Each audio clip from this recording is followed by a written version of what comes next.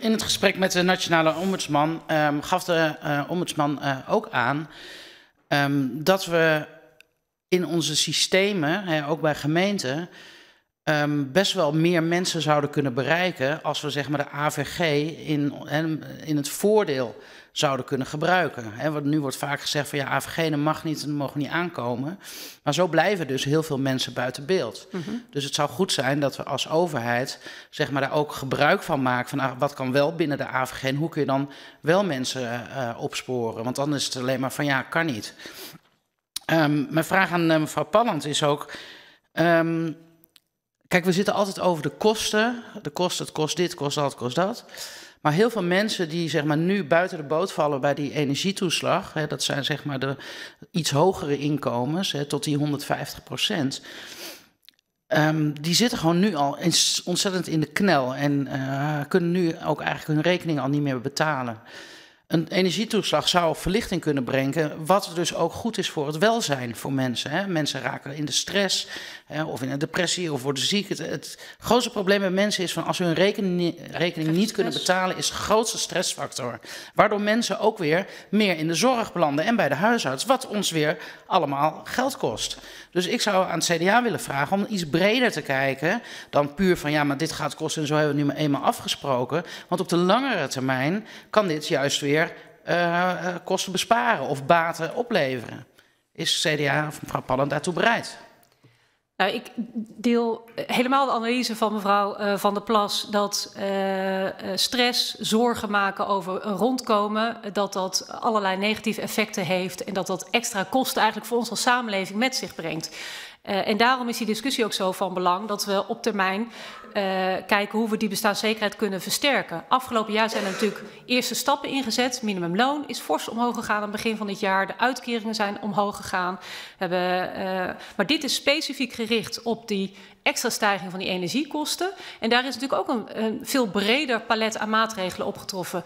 Uh, uh, het energieplafond, uh, de zorgtoeslag omhoog, kindgebonden budget omhoog, et cetera. En daar hebben ook die middengroepen van geprofiteerd. En als het gaat om het niet bereik van AVG, um, daar zijn we natuurlijk ook mee bezig om dat aan te passen, zodat dat uh, niet bereik van mensen en niet gebruik van regelingen, dat we dat kunnen, uh, kunnen ja. oplossen. Het staat toch een beetje los van, uh, van dit wetsvoorstel, ja. voorzitter. Het is een andere doelgroep dan nu de sociale minima bij de gemeente.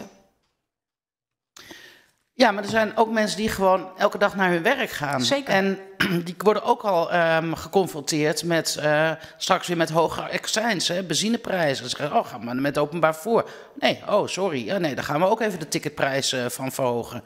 Uh, de voedselprijzen die uh, worden steeds hoger. Er zijn mensen die vallen net buiten alle toeslagenrekeningen. Omdat, en dat is gewoon een hele een strijdende groep uh, mensen. Maar die gaat wel elke dag de weg op om te werken. Om te zorgen dat de overheid zijn inkomsten heeft via de inkomstenbelasting. En ik vind wel dat we ook gewoon oog moeten hebben voor die mensen. En als nou, het voorbeeld van het energieplafond ook daar zitten, daar heb ik al vaker aandacht voor gevraagd, daar zitten bijvoorbeeld weer mensen met een medische aandoening. Die heel veel warmte nodig hebben in hun huis. Hè, vanwege spieraandoening of reuma.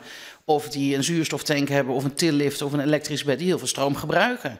Die vallen uh, buiten het energieplafond. Er wordt ook niks voor gedaan. Er wordt uh, door de minister verwezen van ja, maar dat moeten de gemeentes doen. En de gemeentes zeggen vervolgens ja, dan moet u de thermostaat maar lager zetten. Ja, maar dat kan dus niet, want ik heb reuma. Ik moet in een warm huis zitten. Dan kunt u de zuurstoftank misschien een paar uurtjes per dag uitzetten. Wordt bij een zorgverzekeraar gezegd, letterlijk. Ja, dan gaat die mevrouw dood. En zo, en ik vind wel dat we dus ook naar die, dus naar die bredere blik moeten kijken. En dat is nu misschien een investering, maar op de langere termijn zie ik dat we, als wij goed voor onze burgers zorgen, en zeker, nogmaals, voorzitter, dat is het laatste wat ik uh, zeg. Um, in deze zin trouwens, niet het hele debat.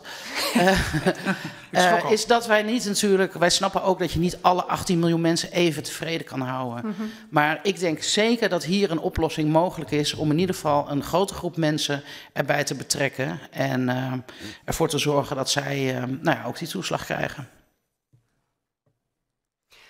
Het is een heel eh, breed hmm. palet. Daar kunnen we algemene politieke beschouwingen over gaan houden. Ik deel met mevrouw Van der Plas de analyse dat uh, die hardwerkende Nederlander die net buiten die regelingen valt, dat we die ook goed uh, moeten ondersteunen en faciliteren. En ik denk dat dat ook, uh, dit is een regeling voor dit jaar nog. En dat was, er zaten meerdere maatregelen in. dat er ook maatregelen op zijn getroffen. En de waarschuwing komt onder andere van de Commissie Herijking Sociaal Minimum van het CPB. Ja, let nou op, uh, uh, beleidsmakers in Nederland, dus wij hier. Want die regelingen lopen straks af. En dan maken mensen zich zorgen um, uh, over die bestaanszekerheid, et cetera. En dan komen mensen in de knel. Die maken zich dus dat perspectief naar uh, volgend jaar en verder. Uh, daar moeten we met elkaar goed naar kijken. En daar is ja. volgende week denk ik de eerste stap in. Afrondend, Kort, punt. Ja, heel simpel. Uh, het is niet of-of, het is en-en. Wat mij betreft. Heel goed.